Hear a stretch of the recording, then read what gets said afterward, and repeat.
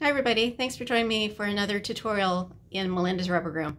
I'm Melinda Pierce and I'm an independent Stampin' Up! demonstrator and I'm so happy to show you today how to make a shaker card.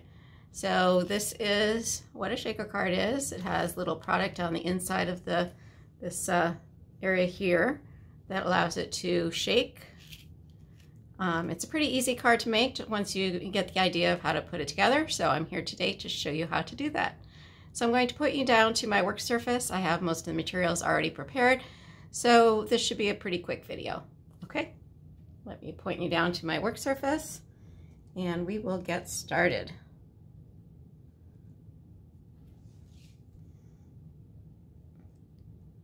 Get you in focus here, everything's set up. All right, so for this card, I used the Framed for You stamp set.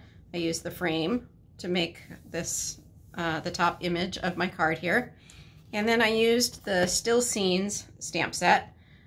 Uh, these are in the, this is in the current holiday catalog, which is going to expire at the end of December. So if you're interested in the stamp set and dies, I would go ahead and get that on order as soon as possible. You can see it has these fun dies that you can make all kinds of different shaker cards with. What I used was the little house, um, and I just stamped that on a piece of white cardstock like so. And I went ahead and colored that in. I just used regular pens and did a white did a wash of uh, balmy blue on the background to create that image. Okay, so I also have a piece of balmy blue cardstock that I used as the base of my card.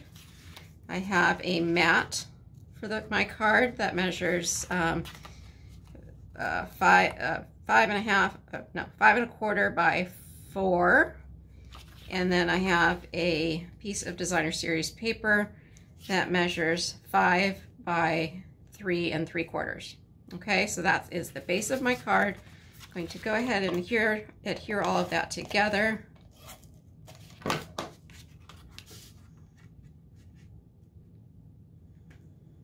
The designer series paper that I'm using is also in the mini catalog that expires in December. It has a lot of great little snowflake images, but it also has this gorgeous wash of um, blues on the other side, and that's the side that I'm going to use.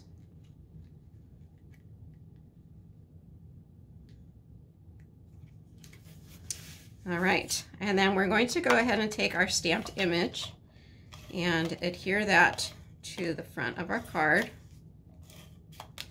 You guys are going to be so surprised at how easy this is to do.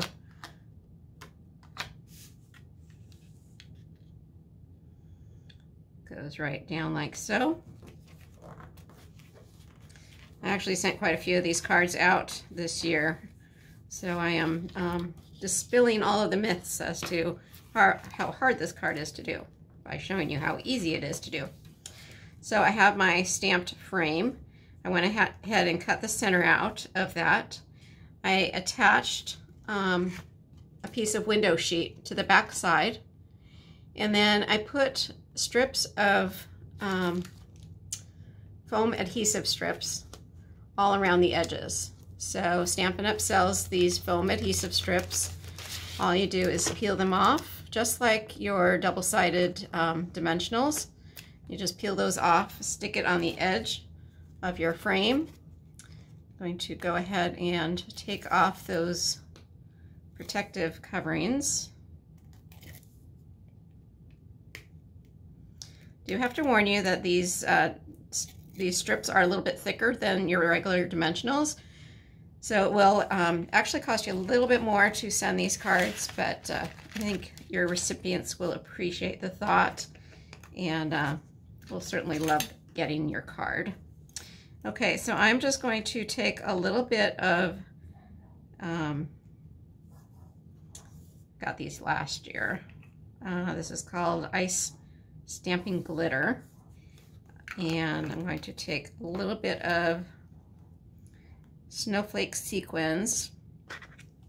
You could use any kind of tiny little beads or sequins. I've heard people actually using um, uh, kosher salt as well. You don't actually need a whole lot. You want to just make sure that it's only covering when this shifts to the bottom, it's only going to cover the bottom part of your um, your window. You don't want it covering the whole thing because you want it to be able to shake and you want to be able to see your image underneath. Okay, so I have your, the sticky strips have all been, um, whoops, have all been um, exposed. So the stick, so this is the sticky part. And you want to just line that up right on top of your little square, like so. Make sure there's good contact all the way around. And that's going to hold your glitter and sequins inside. And there is the completed card. So you can see that I probably could have done put a little bit less sequins in there, but it's just a very snowy day on my card. okay, and then you would go ahead and stamp your greeting and put that on top. Um, I have my insert is already done. I'll go ahead and put that inside as well.